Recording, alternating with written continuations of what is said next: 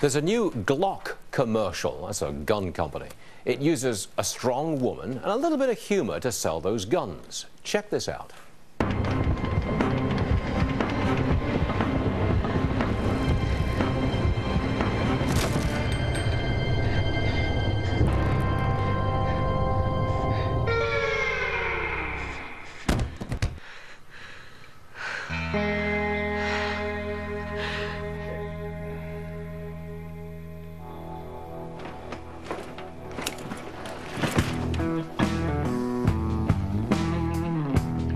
Somebody picked the wrong girl.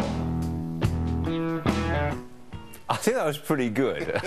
I'm not exactly sold, but that was pretty good. I tell you John. what, it seemed like a commercial for a good movie. It did, didn't it? I want to see the whole story. Uh, I think it was pretty good, and I think that's the perfect target audience. Women want guns. Women want to protect themselves, and you hear more and more about how women did have protected Yes. themselves. I've not seen an exact breakdown of the numbers, but in this surge of gun sales that we've seen in the last four or five years, women play a very significant role in leading that demand. a couple of years ago, uh, Taser came out with different colored tasers specifically for, for the women for the women's market. It was amazing. So you're right. I believe that Glock has a pink gun.